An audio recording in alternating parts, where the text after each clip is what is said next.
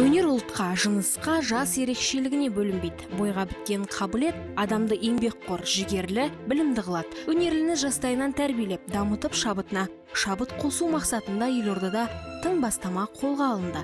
Елбасының рухани жаңғыру бағдарламасы және астана қаласының 20 жылдық аясында жастар мен оқушылар арасында сурет байқауы ұйымдастырылды.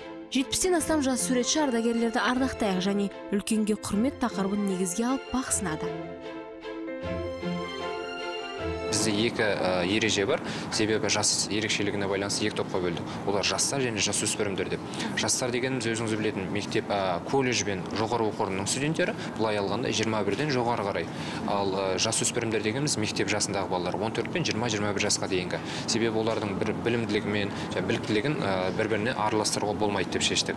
Әділқазылармен ақылдаса келе.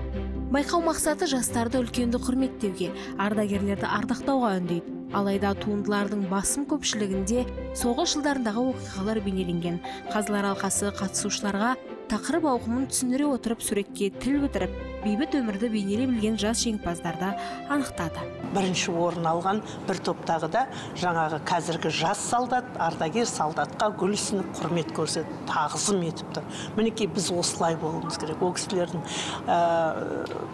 ерлігін ешкім де ешқашан да ұмытпау керек. Ол кісілерге барлық уақытта құрмет болу керек. Өмірдегі барына да өмірден озғандарына да аттарын ұмытпай ә, ерліктерін ұмытпай біз мақтан етіп ұрпақтан ұрпаққа жеткізуіміз керек. Бірінші орын берген суретіміз осы мағынада салынған. Жеңімпаздар анықталды. Екі топ бойынша бірінші екінші үшінші орын иегерлеріне арнайы дипломдар мен бағалы сыйлықтар табысталып байқау мерекелік концертке ұласты. Ал алдағы уақытта жеңімпаз жас суретшілердің туындылары арнайы сурет көрмелеріне қойылады биыл үшінші мәрте өткізіліп отырған сурет байқауы кең ауқымда жалғасын таппақ.